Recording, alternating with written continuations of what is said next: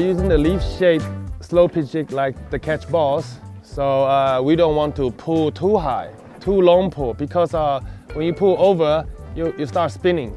So most likely a little twitch, a little twitch, and let it fall more. Sometimes you even can open up your spool, twitch and let it fall with the spools, with the lines going down. Nice colour. Really nice snapper. So the slow pitch movement, we don't do a long pull, we'll do a little short twitch, like that, just a little bit. Just a little bit, you know, little. Try to use a rod tip to flick it a little bit. So just do a little twitch, wheat, wheat, winding, wheat, winding. That's the way to go. That's how you catch fish.